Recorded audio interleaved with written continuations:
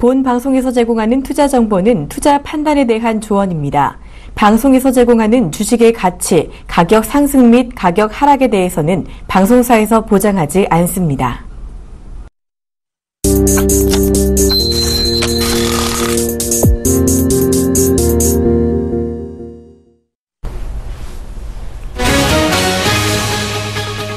유럽중앙은행이 통화정책 회의 결과 현행 0%인 기준금리와 현행 마이너스 0.4%인 예치금리를 동결하기로 결정했습니다. 또 지난달 회의에서 결정한 대로 이달부터 양적 완화 규모를 기존 월 600억 유로에서 800억 유로로 늘리기로 했습니다. 미국의 지난주 신규 실업수당 청구 건수가 전주보다 6천 건 줄어든 24만 7천 건을 기록했습니다. 이는 전망치 26만 5천 건을 크게 하회한 데다가 43년 만에 최저치 수준을 기록했습니다. 미국의 3월 경기 선행 지수가 전월보다 0.2% 상승한 123.4를 기록했습니다. 이는 전월의 마이너스 0.1%에서 하락한 것에서 반등한 것이지만 시장 전망치인 0.4%는 밑돈 결과입니다. 미국의 2월 주택 가격 지수가 전월 대비 0.4% 상승했습니다. 이는 시장 예상치 그리고 1월 수정치와 부합한 것입니다.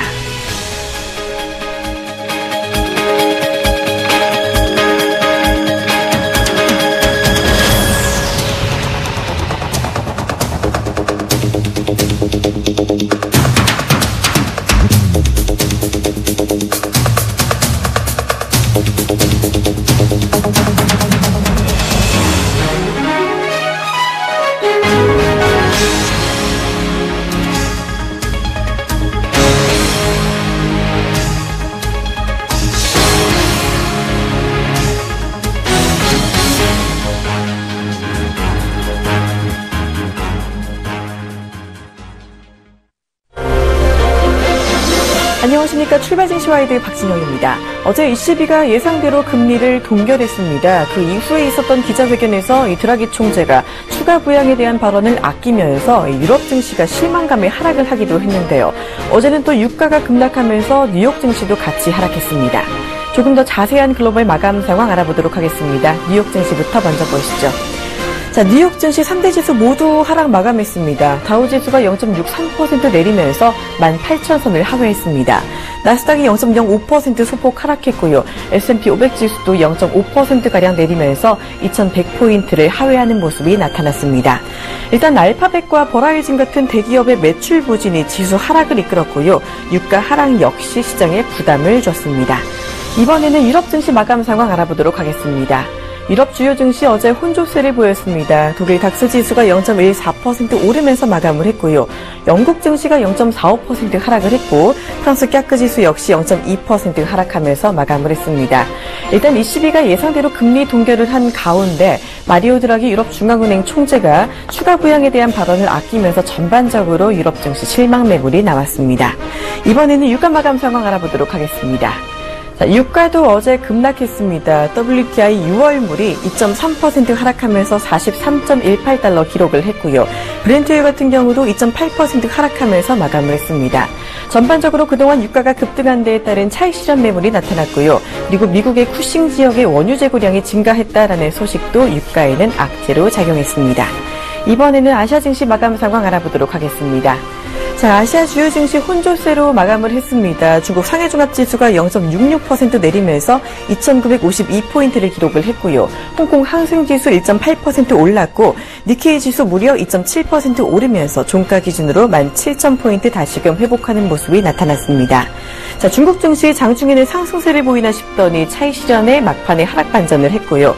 한편 일본 증시는 엔화가 안정세를 보인 데다가 추가 부양 기대감까지 나오면서 급등 마감했습니다. 이번에는 국내 증시 마감 상황 알아보도록 하겠습니다. 자, 어제 우리 증시 굉장히 좋았습니다. 코스피가 0.81% 훌쩍 뛰어 오르면서 종가 기준으로 2022포인트 기록하며 2020포인트를 돌파했습니다. 연중 최고치를 기록을 했고요. 코스닥도 0.25% 오르면서 701포인트 기록하며 700포인트를 다시금 탈환하는 모습이 보였습니다. 일단 어제 수급이 좋았습니다. 코스피에서는 외국인과 기관의 쌍끌이 매수가 들어왔고 외국인은 코스닥에서도 매수를 했습니다. 그 가운데 어제 발표됐던 기업들의 실적들도 호조를 보이면서 전반적으로 증시 분위기 좋았습니다. 어제 원달러 환율은 2원 30전 하락했습니다. 1132원 90전에 마감했습니다. 일단 전반적으로 우리 증시는 잘 올랐지만요. 유가가 급락하면서 글로벌 증시가 좀 주춤했습니다. 이에 우리 증시 오늘 영향을 받을 수 있을 것인지 조금 더 지켜보실 필요가 있겠습니다. 출발 증시 와이드 지금 시작합니다.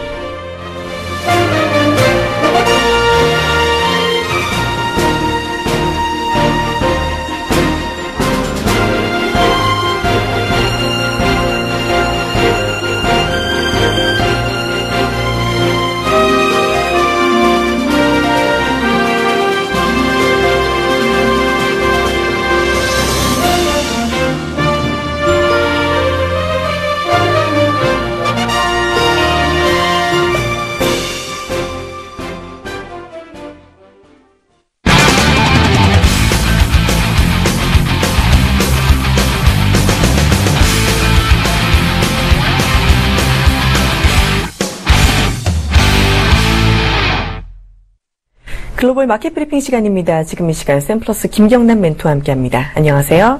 네, 안녕하세요. 네, 유가가 며칠 잘 오르나 싶더니 어제 다시 급락했습니다. 자세한 마감 상황 짚어주시죠. 네, 국제 유가 먼저 살펴보도록 하겠습니다.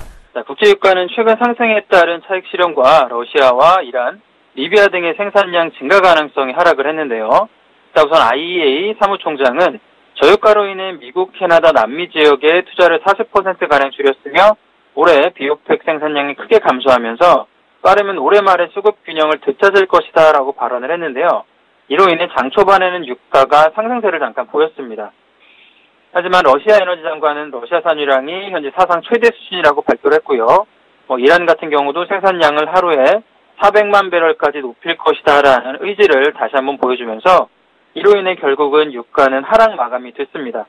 자, 우선 지금 유가 같은 경우는 단기간에 워낙에 급등을 했기 때문에 기술적 하락으로 조금 보여지고요. 차트 모습을 한번 살펴보면 아, 유가는 뭐 이번 주 내내 상승하는 모습을 보여줬습니다. 자, 월요일부터 18일부터 어, 저점 37.64달러를 찍어주고 상승해서 44.49달러까지 올라왔는데요. 뭐 원유 재고 감소 발표와 코웨이트 파업 등으로 상승이 나오긴 했지만 직접적으로 공급에 영향을 줄 만한 요소는 찾아보기 힘든 모습입니다. 자, 우선 고점 44점을 음, 조금 찍어주고 하락하고 있는 만큼 42불대로 다시 한번 내려온다라면 자, 어느 정도 조정을 받거나 하락으로 내려갈 가능성은 조금 어, 충분할 것으로 보여지고요. 자, 원유 선물 같은 경우는 매수 포지션으로 진입하시는 분들은 조금 보수적으로 접근을 하셔야 될 것 같아요. 최소 44불대가 다시 한번 붕괴돼서 올라가면 그때 매수를 들어가시는 전략이 맞을 것 같고요. 지금 자리 같은 경우는 배럴당 42불대로 다시 한번 들어온다라면 매도 포지션으로 조금 적극적으로 대응하는 자리가 아닌가라고 보여집니다. 자, 금 가격을 이제 알아보도록 하겠습니다. 아, 금은 달러 강세로 인해 하락이 했는데요. 미국의 필라델피아 연원 지수가 마이너스 1.6을 기록을 하면서 하락 전환했지만 신규 실업 수당 청구 건수가 43년 만에 최저치를 기록을 하면서 달러화가 강세를 보여 금은 하락이 나왔습니다. 하지만 다음 주 FOMC를 회의를 앞두고 있기 때문에 추가 하락은 제한되고 있는 모습이고요. 우선 어제 유럽 중앙은행 드라기 총재의 추가 금리 인하 가능성을 조금 열어둔 모습이 시장에 영향을 많이 미친 걸로 보여집니다. 이 때문에 유로화는 달러화의 내림세를 조금 나타냈는데요. 차트 모습을 보면 지금 뭐 골드 같은 경우는 1월 달에 워낙에 급등을 한 이후에 자, 2월부터 4월까지 계속 박스권 모습을 조금 보여주고 있습니다. 고점인 1265달러와 저점인 1206달러 정도의 큰 박스권에 멈춰 있는데 현재는 1265달러를 꼬리를 조금 달아주는 모습이 보여주고 있어요. 결국에는 이 박스권 상승 돌파가 다시 한번 실패가 나온 모습이고요. 음, 골드 같은 경우는 마찬가지로 매수보다는 매도 전략이 조금 더 좋아 보입니다. 지금 박스권 매매로 전환을 해서 고점 돌파로 실패로 인한 하방이 조금 유리해 보이고 금선물은 매도 포지션을 추천드리도록 하겠습니다. 자, 마지막으로 오늘 한국 증시 한번 알아보면 금일 한국 증시에 영향을 줄 만한 이슈는 미국 기업들의 실적 발표에 있다라고 보여집니다. 자, 먼저 미국 기업들의 실적 발표가 장마감 이후 발표된 마이크로소프트와 알파벳이 매출 감소 또는 향후 전망 부진 이후로 4% 하락 중인데요. 장중에는 실적 기대감이 상승을 하기도 했지만 이렇듯 실적 발표 후에 시간외 하락은 어, 금일 미국 증시 부진을 이야기하고 있는 모습인데요. 애플 또한 실적 부진에 대한 우려감에 고점 대비 현재 20% 넘게 하락하면서 베어마켓으로 돌입했다는 점도 아, 국내 애플 부품 업체들에게 좋은 영향을 줄 가능성은 제한이 되고 있습니다. 이렇듯 미국 증시 실적, 어, 기업 실적 부진 결과를 보이는 것은 한국 증시를 이끌던 중요한 수급 주체인 외국인들의 순매수 기조가 완화될 여지가 크다라고 보여지고요. 특히 목요일 발표된 미국 경제지표 부진도 이런 경향을 아, 강화시킬 것으로 판단이 됩니다.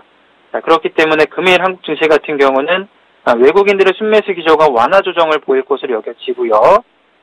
음, 마지막으로는 야간 선물 같은 경우는 외국인 순매도 계약으로 0.85% 하락한 249.05포인트로 마감이 됐으면서 코스피로 환산하면 2015포인트 되는 수준입니다. 네, 유가 42달러대로 진입할 경우에 매도 포지션 가져가는 게 좋겠다라는 의견 주셨고요. 금 선물도 매도 포지션 주셨습니다. 샘플러스 김경남 멘토 함께 했습니다. 고맙습니다. 네, 감사합니다.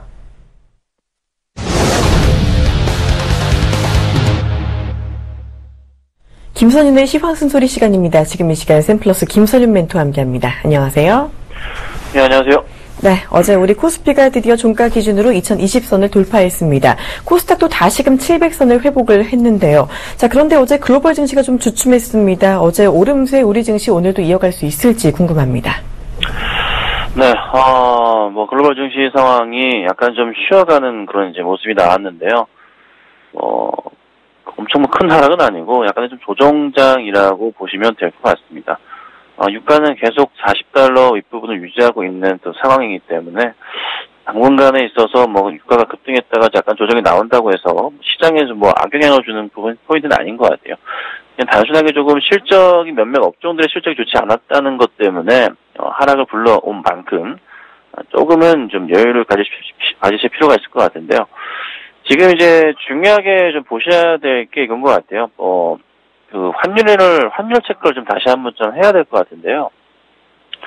이 환율의 흐름에서 이제 말씀드렸던 대로 제가 여러 번 말씀드렸던 포인트대로 좀 잘 움직여주고 있긴 합니다. 그래서 1100 이제 30달러 선까지 원달러 환율이 좀 움직여주고 있는데 이 전 저점 포인트죠. 이게 작년 이제 10월쯤에 보여줬던 그 포인트가 1120원대까지 지금 열려 있는 상황인데 이 흐름이 지금 2050에서 2100포인트 정도라고 보시면 됩니다.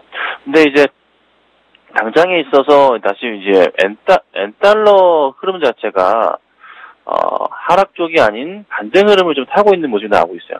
어, 제가 봤던 포인트는 그래도 어느 정도 4월 시장에서 요 최근 들어서 이게 요 횡보 흐름을 좀 보이지 않을까. 그러니까 108엔대 정도에서 100한 9엔대, 110엔 대 사이의 움직임을 보이지 않을까 예측을 했는데 어느새 조금 다시 110엔 대를 돌파하려는 시도 자체가 간간히 좀 나오고 있는 모습이거든요. 그래서 만약에 여기서 한번 추가적인 상승이 나온다면 아, 국내 증시에 또 관련주들 영향을 좀 받을 수가 있습니다. 그래서 좀 재미없는 흐름이 나올 수도 있어요. 그래서 조금은 이 부분을 어, 주의 깊게 보시고 대응해야 되지 않을까 싶은데 쉽게 반등하기는 좀 힘들거든요. 그래서 만약에 반등을 주더라도 111엔대 어, 정도 자리가 또 한계치로 좀 아, 아, 작용하면서 약간 다시 좀 하락 쪽으로 흐름을 나올 수 있지 않을까 생각이 듭니다. 그래서 이런 포인트를 한번 잘 보셔야 될 것 같고, 자, 그 다음에 이제 정부에서 그 바이오 사업 육성에 대한 부분이 좀 이슈가 됐습니다. 어, 제조업 현식에서 벗어나 뭐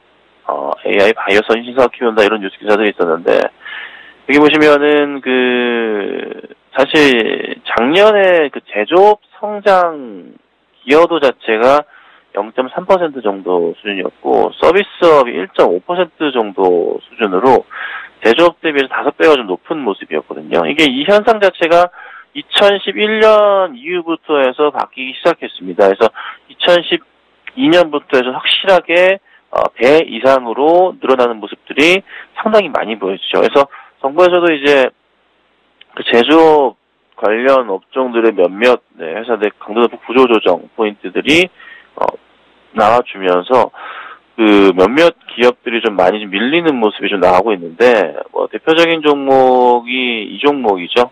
사실 난리가 났습니다. 한진해운 같은 경우가 그에 따른 좀 영향을 좀 받고 있는데요. 음, 어제 시장에서 7% 이상 하락했고요. 수요일은 10% 이상 밀리는 모습입니다. 어, 근데 당분간에 있어서 저도 계속 말씀드리지만 제가 계속 이전부터 말씀드렸던 게 이겁니다. 국내 제조업 시장 죽었다. 제조업 잃어버린 10년 올 수 있다. 벌써 시작된 지 5년이 됐다라고 제가 정말 자주 말씀드렸죠. 기억들 많이 하실 겁니다. 근데 이제 그게 이미 왜 그런 얘기를 제가 자주 드렸냐면 경제활동별 성장 기여도가 2011년부터 제조업이 축소되면서 서비스업이 제조업을 넘어가는 현상들이 나타났다는 거죠. 그래서 그게 지금 벌써 이제 5, 년째 이어지고 있는 걸 보시면 될 것 같고 역시나 정부 입장에서 지난 그 작년에 이제 제약 바이오주들이 급등하는 흐름들이 상당히 좀 많이 연출이 됐죠. 작년 시장에서 이제 작년 그 초반부터 해서 작년 중반까지의 여러 종목들이 이렇게 상승하는 그런 그림들을 보면 이게 아직 그 시작에 불과하다는 생각이 들고요. 뭐 최근 들어서 다시 작년 7월부터 해서 하락한 시장이 하락한 이후에 계속 조정을 보이는 제약바이오주들이 많지만 그 관련주들이 지금부터 해서 정부의 정책을 바꾸서 오늘 시장에서도 상당히 좋은 모습을 보이고 또 앞으로도 계속 좋은 모습을 보인다는 겁니다. 중요하게 보셔야 될 것은 정부에서 제조업에 10조 투자해도요 얼마나 또 어 그 실업률이 낮아질까 그런 거 없습니다. 제약바이오 헬스케어 10조 투자하면요. 우리 젊은 인력들, 고급 인력들 다 들어갑니다. 그렇죠? 그래서 어, 실업이 낮아질 수 있는 부분이라 살아날 수가 있는 것이고 이제 제조업 쪽은 어, 다시 좀 그 뭐 중국이나 인도 쪽으로 넘겨줘야 되고 서비스업 쪽으로 해가지고 조금 quality 높은 사업을 좀 해야 된다는 거죠. 그래서 그런 포인트를 어, 정부에서 조금 관심 있게 보고 조금 대응을 하는 것 같습니다. 그래서 좀 빠르게 이 부분의 이슈가 맞춰서 어, 되는 것 같, 잘 이루어지는 것 같고요. 이전에 좀 황우석 이슈로 인해서 좀 바이오 쪽이나 신약 쪽이나 이쪽을 약간 좀 많이 초어들었었는데 그쪽 관련해서 정부에서 뭐 줄기세포 쪽이나 육성을 좀 하려는 포인트가 나오고 있어서 일본한테 또 잡힐 수가 있어요. 일본이 지금 그쪽에 벌써 조금 얘기가 나오고 있는 상황이죠. 뭐 이종장기 분야에서 일본이 벌써부터 어, 제재를 풀겠다 얘기가 나오고 있죠. 국내에서도 그런 부분을 빨리 해결해 준다면 관련 사업군에 다 전체적으로 어, 긍정적인 모습 보이지 않을까. 유전자 가입 쪽도 잘 보시면 좋지 않을까 말씀드립니다. 자 그리고 이제 올해 상장하는 기업들이 약간 180개 정도가 있어요. 올해 국내에요. 그래서 거래소 쪽에서 한 25개, 어, 코스닥에서는 한 155개 정도 이상이 올해 어, 상장할 것으로 보입니다. 어, 굉장히 많은 수치입니다. 한 달에 15개 정도의 기업이라고 보시면 될 것 같은데 뭐 이렇게 많이 상장을 하나 싶을지도 모르겠는데요. 뭐 최대 최대어는 뭐 롯데 호텔 호텔 롯데죠. 호텔 롯데라고 볼 수도 있는데 어찌됐든 국내 이제 굉장히 좀 많은 기업들이 상장을 하면서 그 시장을 끌어올린다는 겁니다. 제가 코스피 지수를 2,500을 간다 말씀드리고 있죠. 왜 그러냐면 새로운 기업들이 상장을 하면서 지수를 끌어올리고 사람들의 시선을 모아주면서 다시 한번 어떻게 어, 전형적으로 코스피 가치가 올라가서 지수도 상승을 줄 수 있는 그런 포인트가 굉장히 많아요. 작년 대비해서 훨씬 많은 기업들이 상장을 할 것인데 여기서 주목을 하셔야 될 것은 올해는 그래도 시장이 굉장히 좋아요. 그래서 상장주들의 흐름이 제가 볼 때는 굉장히 재미가 있을 것 같습니다. 그러니까 어, 공모를 받는다면은 재밌는 모습을 보일 건데 정부에서 정책 시너지를 받아준 거를 같이 그 관련 주들을 넣으세요. 그러니까 지금 현재 AI, 뭐 제약 바이오, 헬스케어 정부 육성한다 그러죠. 제조업 관련한 어떻게 해요? 공모 새로 상장주들은 공모하시면 안 되고요. 방금 말씀드렸던 정부 육성에 맞아 떨어지는 관련주들 게임사도 괜찮습니다. 그런 관련주들의 공모를 받는다면 굉장히 좀 좋은 수익이 날 수 있는 한 해가 될 것이다. 그래서 이 포인트 꼭 기억하시고 올해 뭐 대응을 하시면 어, 괜찮지 않을까 싶습니다. 그래서 전체적으로는 뭐 오늘 시장 분위기 약간 출렁일 수 있지만 큰 폭은 아니고요. 음, 제조업을 버리고 그 신사업 쪽에 그 정부가 이제 육성을 들어갔고 거기에 맞춘 공모주들을 관심 있게 보자. 오늘 이렇게 좀 정리해드리겠습니다. 네, 정부 정책 흐름에 맞는 제약 바이오 업종 관심 갖자라는 이야기 주시면서 신규 상장 종목 중에서도 조금 더 정책 기조에 맞는 종목 골라보자라는 이야기 들어봤습니다. 샘플러스 김선윤 멘토와 함께했습니다. 고맙습니다. 네, 감사합니다.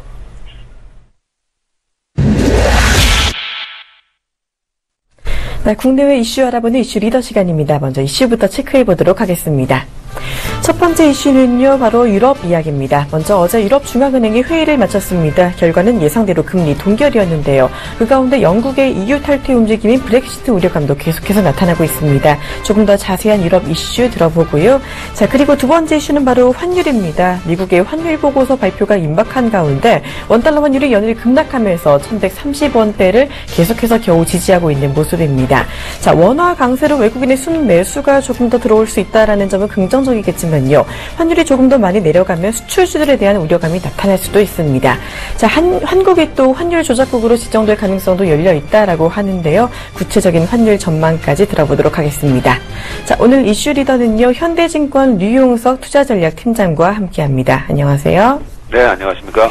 네, 먼저 간밤에 있었던 ECB 회의에서 금리 동결이 결정됐습니다. 예상했던 대로고요. 그 가운데 또 영국의 유럽연합 탈퇴 투표가 두 달 앞으로 다가왔습니다. 마리오 드라기 총재가 어제 또 브렉시트가 유로존 회복에는 좀 제한적인 위협이 될 거다라고 발언하기도 했는데요. 먼저 ECB 회의 결과 리뷰에 더해서 이 유로존 경제 전반에 대해서도 짚어주시죠. 예, 어, 지난 3월 초에 그 22에서는 그 2월과 1월에 그 연거퍼서 드라기 총재가 그, 어, 언급했던 것처럼 좀 강력한 또 좀 전격적인 그 통화 정책들이 나왔습니다. 그래서인지 근본 4월 통화 정책, 어제 있었던 통화 정책에서는 별다른 내용이 없을 거다라는 전망이 우세했고요. 아, 그런, 어, 전망처럼 어제 22는 어, 기준금리 기존 어, 동결이죠. 그러니까 은행에 부여하는 마이너스 금리 0.4%를 그대로 유지를 했고요. 그래서 소위 말하는 마이너스 금리 폭을 확대시키진 않았습니다. 두 번째로는 어, 이전에 그 3월에 합의했던 그 월 단위의 그 자산 매입 규모와 어, 범위에 대해서도 그대로 유지를 했습니다. 월 어, 800억 유로의 자산 매입을 유지했기 때문에요. 3월에 있었던 정책 변화에서는 크게 어, 달라진 면이 없게 됐습니다. 아, 이런 부분은 시장이 원래 예상했던 부분이기 때문에 어, 증시나 다른 그 채권이나 이런 외환 변수에는 큰 영향을 주진 않았던 것으로 어, 봐야 될 것 같습니다. 다만 이제 드라기 총재가 기자회견을 통해서 어, 향후에 이제 물가 상승률 목표를 다시 한번 언급했는데요. 물가 상승률 목표의 달성을 보장하기 위해서 어, 가능한 한 어, 모든 수단이 있다면 다 활용할 것이다라는 약속을 했습니다. 아, 이것은 이제 물론 그 전체적인 어, 경기에 대한 자신감을 드러나기 위한 그 표현일 수 있겠지만 한편으로 보면 언제든지 나빠질 수 있는 경기 상황, 특히 이제 디플레이션 압력에 대해서는 가장 적극적으로 통화 정책을 쓰겠다는 그 발언이기 때문에요. 시장에서는 추가 경기 부양에 대한 기대를 뭐 만들어내는 데는 성공을 했습니다. 다만 이제 혹시나 시장에서 언급할 수 있었던 부분이 이제 헬리콥터 머니에 대한 부분이었는데요. 이 부분에 대해서는 어, 드라기 총재가 전격적으로 부인을 했고요. 이런 부분들은 한편으로 보면 이제 추가 부양책이 나오더라도 그 시점은 뭐 가까운 시점이 아니라 뭐, 어, 조금 더 시간이 지나야 된다는 그런 표현이었기 때문에요. 오히려 시장에서는 이런 부분들이 반영해서 소폭 유럽 증시가 마감을 했습니다. 최근에 유럽 경제들은 대체적으로 독일 경제연구소에서 발표한 그 경제 지표를 보더라도요. 지난 3월 통화정책 이후에, 이후에 좀 최강 경기들은 좀 회복되고 있다는 점에서는 다소 좀 긍정적인 측면들이 있다고 보고 있고요. 브렉시트 논란은 계속되겠지만 경제적으로 보면은 어, 영국이든 유럽이든 상호 간의 마이너스 실익입니다. 그렇기 때문에 경제적인 관점에서 브렉시트의 가능성은 매우 낮다고 보고 있습니다. 물론 정치적인 측면들이 고려되지 않을 수 없겠지만은 일단 찬반이 엇갈리는 가운데 시장에 갈수록 오히려 그 반대쪽에 대한 여론이 더 일반적이기 때문에요. 브렉시트에 대한 가능성은 좀 낮게 보는 것이 어, 조, 어, 합리적인 판단이 아닐까 이렇게 보고 있습니다. 네, 유럽의 추가 부양책 기대감이 좀 낮아진 가운데 경기 회복 여부 조금 더 지켜보실 필요가 있겠고요. 브렉시트 가능성은 좀 낮다라고 이야기해 주셨습니다. 자, 이번에는 환율 이야기 해보도록 하겠습니다. 미국의 환율 보고서 발표를 좀 앞두고 있는 가운데 원달러 환율이 요즘 계속해서 하락하고 있습니다. 1230원대 움직임을 좀 보였던 게 불과 한 달쯤 전인 것 같은데 어느새 지금 1130원대까지 내려왔거든요. 일단은 한국이 환율 조작국으로 지정될 수 있다는 가능성도 열려 있다고 하는데 그럴 경우 경우 원화가 어떤 움직임 보일지 궁금하고요. 그리고 시장에는 또 어떤 영향이 있을까요? 예, 어, 당분간 뭐, 그 원화에 대한 어, 약세보다는 강세가 좀 울- 일반적일 가능성이 있긴 한데요. 일단 원화 저- 원달러 환율 자체 레벨 자체가 한 단계 정도 하락했기 때문에 현재 1130원 전후인데요. 일단 1120원대 중반 또는 후반에서는 하방 경직성을 보일 것으로 예상을 하고 있습니다. 먼저 이제 원달러 환율이 이제 미국 재무부에서 4월에 10월에 두 번 발표하는데요. 환율 보고서 발표를 앞두고 갑자기 이제 하락을 했습니다. 이제 일종의 원화 강세인데요. 아, 이렇게 된 데에는 어, 근본에 발표하는 미국의 그 환율 보고서 내용에서 가장 주목하는 거는 어, 몇몇 국가들이 환율 조작 의심국으로 지정돼서 이제 아, 그 WTO라든가 IMF에서의 여러 가지 아, 간섭이나 규제를 받을 수 있다라는 것 때문인데요. 이 가운데에서 뭐 중국도 언급되기도 하고 이스라엘 언급되기도 하지만 여러 가지 측면에서 보면은 대만하고 한국이 아, 환율 조작 의심국으로 지정될 확률이 가장 높다는 분석 때문인 것으로 보여집니다. 어, 여, 여기에는 예, 무역 수지하고 경상 수지 측면에서 한국과 대만이 가장 어, 이상적으로 예, 몇 년간 대미 어, 경상 수지 흑자, 무역 수지 흑자를 기록했기 때문인데요. 여기에 해당되는 것 중에 항목 중에 보면 의도적으로 어, 가- 아, 해당 국가의 통화를 절하시켰느냐에 대한 부분이 있는데요. 한국 통화회 같은 경우에는 2011년부터 14년까지는 여러 가지 측면에서 어, 개입 의혹이 있었지만 2015년 이후에는 오히려 그 반대였기 때문에요. 실제적으로 이번 그 환율 보고서에서 한국 통화가 환율 조작 의심국으로 지정되지는 않을 거다 이렇게 좀 보고 있습니다. 하지만 이제 만약에 하나라도 원화가 이제 환율 조작 의심국으로 지정이 됐을 경우에는 최근 수정 발의된 뭐, 어, BH 법안에 따라서 무역이라든가 거래 여러 가지 제재를 받을 수 있기 때문에 아무래도 수출주에 대한 악영향이 우려될 수 있습니다. 아, 이런 부분들은 조금 어, 시- 심의 있게 좀 봐야 될 부분인데요. 일단 저희들이 판단으로는 근본에서는 실제 환율 조작 의심국으로 지정되지 않을 확률이 높다 이렇게 보고 있습니다. 네, 원화 강세 기조가 당분간 이어지면서 수출주에 대한 우려감도 나타날 수 있다라고 짚어주셨습니다. 원화 강세 기조가 이어진다면요, 원 달러 환율 어느 범위까지 내려갈까요? 어, 일단 뭐, 그, 최근에 워낙, 어, 처음에는 달러 약세 때문에 좀 하락을 했고요. 두 번째는 앞서 말씀드린 대로 이제 환율 보고서 영향에 하고 또, 어, 한국은행이 이제 기준금리를 동결한 영향 이렇게 좀 나눠볼 수 있는데요. 어, 환율 보고서 내용에 대한 구체적인 부분과 그 결과는 좀 지켜봐야 되지만 앞서 말씀드린 대로 환율 보고서에서 직접적으로 원화가 환율 조작 의심국으로 지정되지 않는다면은 원달러 환율의 일, 차적인 하락은 이제 마무리된 수준으로 보고 있습니다. 아, 그렇기 때문에 일단 한 1120원대 중반 어, 정도에서는 하방 경직성하고요. 1차 하락이 마무리된 대로 보고 있, 있, 있을 수 있게 되고요. 아, 이런 경우라면 어, 전체적으로 이제 환에 대한 그 어, 리스크라고 해야 되나요? 원래 이제 원화 강세가 여러 가지 측면에서 긍정적이지만 이번 같은 경우는 환율 보고서에 대한 그 시장 외적인 요인이기 때문에요. 악영향이 좀 일부 우- 우려될 수 있는데요. 이 부분에 대한 우려는 좀 해소되지 않을까 이렇게 보고 있습니다. 네, 일단 1120원대 중반에서는 하방 지지력이 나타날 수 있다라는 점 짚어주셨습니다. 자, 마지막으로 오늘의 투자 조언 주신다면요? 예, 시장이 일단 이천선을 회복을 했습니다. 회복에는 여러 가지 요인이 있겠지만 근본적으로는 외국인 매수에 대한 연속성이 확보되고 있다는 점하고요. 또 계속해서 실적들이 발표되고 있는데 한 몇몇 종목들을 제외하고 대부분의 종목들을 보면은 아, 시장이 예상했던 컨센서스 예, 실적보다는 좀 높은 실적입니다. 현재까지 발표된 기업이 많지는 않지만 그래도 영업이익이나 순이익 기준으로는 각각 10에서 20% 정도의 어, 예상치보다 높은 실적들을 보이고 있습니다. 물론 매출 성장률이 마이너스 5에서 7% 정도이기 때문에 이는 당연히 뭐 이제 원자재 이런 이런 그 가격 하락의 영향입니다. 그래서 매출 성장의 어, 한계라는 지적이 있긴 하지만 일단 어닝이라는 측면에서 보면은 긍정적인 모드들은 지속될 가능성이 높습니다. 어, 전체적으로 보면 이제 중국에 대해서 이제 해자체 리스크가 좀 다시 부각이 되고 있는데요. 이런 부분 중국의 해자체 리스크는 간헐적으로 나올 수 있는 변수입니다. 그래서 이 부분에 너무 신경 쓰는 부분은 어, 판단에 대한 그 미스일 가능성이 높다고 보고 있고요. 전체적인 흐름에 대해서는 어, 상승 흐름에 대한 무게를 두고 있고요. 어, 다만 수급적으로 어, 예, 다소 좀 이전보다는 기대치가 낮아질 수 있는 부분하고요. 우리가 원래 목표했던 대부분의 시장의 어, consensus가 2080선 정도이기 때문에 주가가 오를수록 어, 시- 지수보다는 오히려 종목 개별에 대한 부분이 좀 강할 수 있기 때문에요. 중소형주에 대한 신경도 계속 쓸 수 있는 그런 장세가 아닐까 이렇게 보고 있습니다.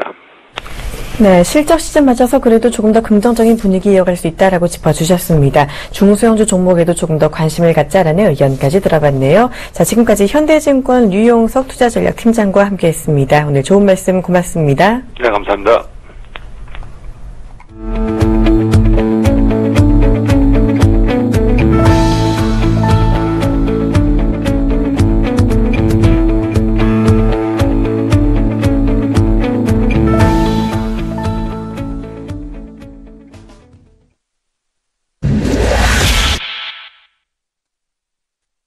진단 통해서 종목 전략 알아보는 수급 리더 시간입니다. 먼저 전일장 매매 동향부터 알아보도록 하겠습니다. 자, 어제 외국인과 기관이 코스피에서 동반 매수를 했습니다. 외국인 1,609억 원 매수했고요. 기관이 1,479억 원 매수했습니다. 개인만 홀로 3,020억 원 매도를 했고요. 자, 코스닥 매매 동향도 살펴보신다면요. 자, 코스닥에서는 외국인이 역시나 매수를 했습니다. 139억 원 매수했고 기관은 홀로 118억 원 매도했습니다. 개인이 134억 원 매수를 같이 하는 모습이 나타났습니다. 이번에는 어제 외국인과 기관이 많이 산 종목들 알아보도록 하겠습니다. 먼저 거래소 상위 쇼핑 종목입니다. 외국인은 어제 호실적을 발표했던 포스코를 많이 샀고요. 네이버와 한국전력, 삼성전자, 두산인프라코어까지 많은 물량을 담았습니다. 기관은 역시 사상 최고치 실적을 발표한 종목 KT&G를 많이 담았고요. 현대제철과 LG디스플레이, 롯데케미칼까지 많이 샀습니다. 자, 코스닥 쇼핑 종목도 보신다면요. 외국인은 컴투스, 디오, 보성 파워텍, KH바텍, 그리고 JW 신약을 많이 샀고요. 기관은 KG이니시스, 한솔신텍, 에코프로, DHP 코리아, 인트론 바이오를 많이 담았습니다.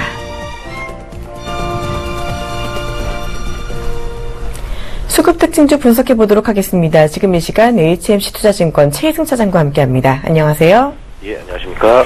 네, 먼저 거래소 수급 특징주 중에 기관이 KT&G를 많이 샀는데요. 어제 실적이 정말 좋게 발표가 됐다고 하죠. 네, 그렇습니다. 뭐 1분기에 뭐 surprise 수준의 이제 실적 발표가 나오면서 어 이제 주가 뭐 거래량도 상당히 많이 나왔는데요. 뭐 거래량이 뭐 거의 뭐 100만 주 이상 예, 나왔습니다.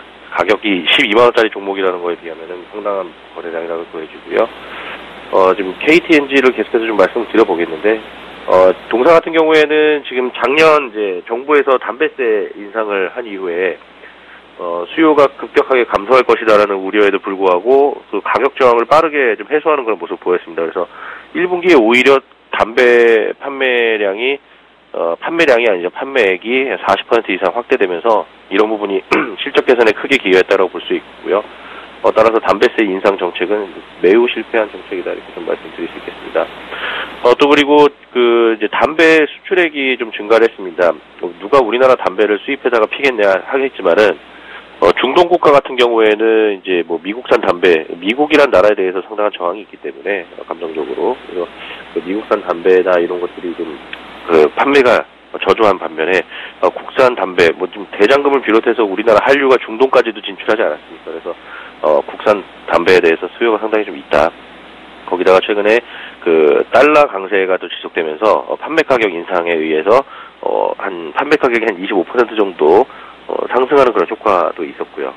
어, 1분기에는 뭐 민족 대명절인 그 구정 연휴가 있었죠. 그래서 그런 그 KTNG 100% 자회사인 KGC 이제 담, 그 인삼 한국 인삼 공사인데 요 이제 그 홍삼 제품의 이제 설 선물 세트 이런 부분들이 전년 대비해서 32% 정도 판매가 증가를 하면서 어 전년 동기 대비해서 매출액과 영업이익이 이제 매출액이 24% 증가했고 영업이익이 2,960억 정도를 어, 추가적으로 시현을 하는 모습 보였습니다. 그래서 어, 실적이 1분기에 상당히 좋았다.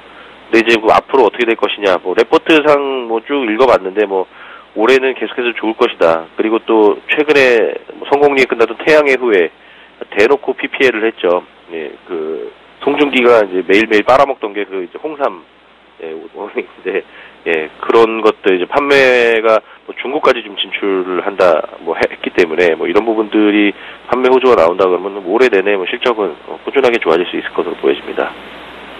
네, KTNG 추가 실적 개선 가능성 열어주셨는데요. 이 종목 같은 경우 최근 들어 많이 올랐고 어제는 신고가까지 돌파를 했습니다. 새로 접근하기는 좀 부담스럽지 않을까 싶은데요.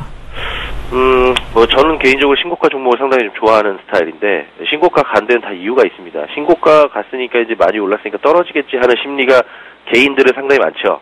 근데 그거 항상 뭐 그런다고 해서 떨어진 적이 있습니까? 거의 신고가 내는 종목들 대부분 다 더 추가적으로 오르죠. 예, 계속해서 52주 신고가 내고 하는 이유가 다 있기 때문에 말씀드린 대로 실적이 계속 좋아지고 앞으로도 좋아질 것으로 예상하기 때문에 주가는 미리 움직인다 라고 좀 말씀드릴 수 있겠고요. 어제 거래량 봐서는 오늘 사실은 어, 갭 상승해서 장대 양봉이 나온다면은 오늘 같은 날이 뭐 차익 실현의 단기 차익 실현의 하루가 될 것 같고요. 한 11만 5천 원 이하, 11만 원대 지지 여부 확인한 다음에 어, 좀 하락 시에는 뭐 분할 매수를 해봐도 괜찮을 것 같습니다. 요즘에는 대형주도 코스닥 중소형주 못지않게 이런 변동성이 나오기 때문에 어, 충분히 대형주로도 단기 trading 관점에서 접근을 해보셔도 좋을 것 같습니다. 네, 신고가 달성에는 이유가 있다라고 봐주시면서 추가 상승 가능하다라고 짚어주셨습니다. 일단 오늘 상승 시 차익 실현 구간인 만큼 11만 원 지지 여부 확인하고 조정 시 매수 전략 주셨네요. 이번에는 코스닥 종목 알아보도록 하겠습니다. 자, 어제 코스닥 외국인이 많이 산 종목 중에 정치 테마주 보성 파워텍이 눈에 띕니다. 반기문 테마주로 최근 급등했던 종목들인데 어, 정치 테마주인 만큼 접근이 좀 어려울 것 같은데 어떻게 보시는지요? 네, 사실 뭐 정치 테마주가 굉장히 high risk high return이죠. 어, 뭐 매년 아, 매년이 아닙니다만 매 대선마다 항상 이런 정치 테마주들로 울고 웃는 분들이 저는 주변에서 너무나 많이 봐왔는데 뭐 역설적으로 큰 돈 벌려면 대선 테마주 해야죠. 해야 되는데 어떻게 해야 되느냐가 상당히 좀 중요할 것 같고 또 정확하게 그 종목이 왜 대선 테마주로 묶였는지를 잘 파악을 하셔야 될 것 같고요. 일단 그 보성 파워텍에 대해서 한번 좀 말씀드려보겠는데 보성 파워텍 같은 경우에는 반기문 사무총장의 이제 친동생 반기호 씨가 부회장으로 재직 중에 있다. 예, 뭐 어떻게 보면 인맥주죠, 인맥주. 예, 인맥주 중에서는 가장 화려한 종목이 아닌가 싶습니다. 예, 반기문 사무총장의 친동생 반기호 씨가 부회장으로 재직하고 있는 예, 회사가 있고요. 그리고 뭐 그 외의 종목들도 한번 말씀을 좀 드려보겠습니다. 뭐 한창, 삼보판지, 피닉스 소재, CCS 뭐 이런 종목들이 이제 반기문 사무총장의 정치 테마주로 묶여 있는데 이유를 들어보면 참 예, 참 어이가 없는 종목들도 있고요. 자, 한번 이유 한번 말씀드려볼게요. 한창 같은 경우에는 그 한창 대표 최승아 씨가 유엔 환경기구 상임위원입니다. 뭐 유엔에 같이 일하고 있다. 뭐 이거고요. 삼보판지 유종욱 회장은 반기문 총장하고 서울대 선후배 사이다. 서울대 서울대 선후배 사이 뭐 얼마나 수만 명 되지 않겠습니까? 예. 그리고 피닉스 소재 홍석규 회장이 서울대 외교학과 동문이고요. 뭐 같은 과 나왔으니까 뭐 그렇다는 거고. CCS 반기문 사무총장 고향인 충북 음성에 회사가 위치해 있다. 어이가 없습니다. 예. 그러니까 이 정치 테마주 할 때 이런 어이없는 종목들 잘 좀 선별하셔가지고 철저하게 좀 분석을 하신 이후에 하셔야 될 것 같고요. 어떤 실적이나 이런 거에 의해서 움직임이 발생하기가 좀 어렵습니다. 예, 실적까지 동반된다 그러면은 뭐 당연히 그 정치 테마주가 대장주가 되겠지만 뭐 실적 외적인 부분들이 작용하는 게 정치 테마주 판이기 때문에 그런 부분도 상당히 좀 조심을 해야 될 것 같고요.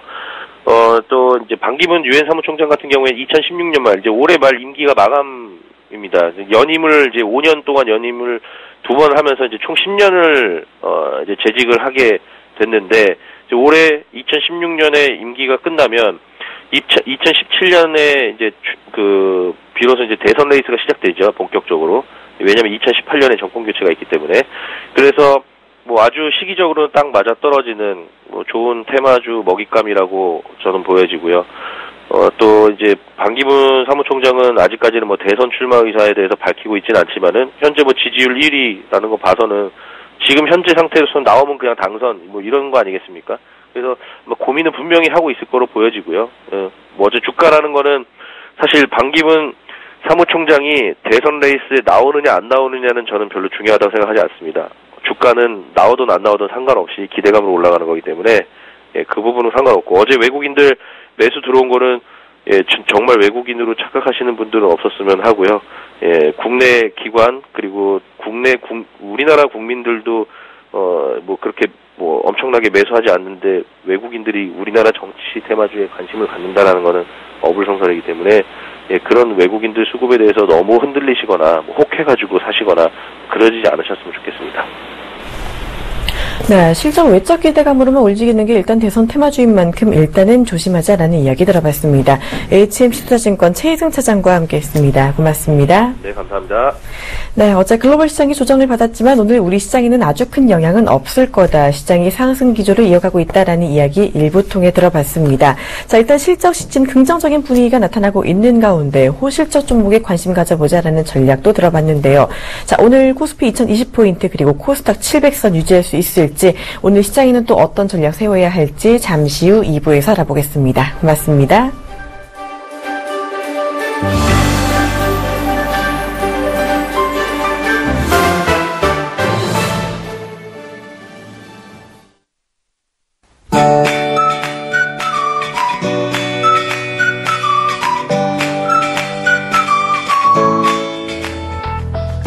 안녕하세요. 케이웨더 라이프스타일 예보 황지영입니다. 오늘 출근길 조금 더 서둘러 나오셔야겠습니다. 현재 전국 곳곳에 안개가 짙게 낀 곳들이 많은데요. 낮부터는 점차 맑아지면서 오늘 맑고 포근한 하루 예상됩니다. 다만 밤부터는 옅은 황사가 나타날 가능성이 있습니다. 그제와 어제 중국 북부지방과 몽골에서 발원한 황사가 오늘 밤부터 모레 사이 우리나라 상공을 통과하겠는데요. 그중 일부가 낙하할 것으로 예상되면서 오늘 미세먼지 농도 오전까지는 보통 단계 보이겠지만 오후에는 서쪽 지방과 강원 영서를 중심으로 나쁨 단계 예상됩니다. 이번 주말은 대체로 맑은 하늘에 낮 기온도 20도 안팎으로 포근하겠는데요. 다만 토요일 제주도에는 비가 내리겠고요. 대기의 상태가 계속해서 전국이 나쁠 것으로 예상됩니다. 외출 시에는 마스크 꼭 챙기셔야겠습니다. 현재 위성 영상 보시면 전국 대체로 맑은 모습이지만 곳곳에 안개가 짙게 끼어 있습니다. 특히 안동과 춘천은 시정이 100m 안팎에 불과한 상황인데요. 안전 운전에 각별히 신경 쓰시기 바랍니다. 오늘은 남해상에 위치한 고기압의 영향을 받겠습니다. 자세한 지역별 날씨 나절 예보로 알아보겠습니다. 전국에 구름 많다가 오후부터 점차 맑아지겠습니다. 서울 19도, 대전 23도까지 오르겠습니다. 동해안은 오늘 바람이 강하게 불겠으니 시설물 관리하셔야겠고요. 낮 기온 속초 24도, 울진 25도 예상됩니다. 밤부터는 옅은 황사 가능성이 있겠고 광주 25도, 대구 27도까지 높게 오르겠습니다. 바다의 물결은 남해와 동해상에서 다소 높게 일겠습니다. 이번 주말에 이어 제주도에는 화요일에도 비 소식이 있고요. 수요일에는 충청 이남 지방에 비가 내리겠습니다. 기상 정보였습니다.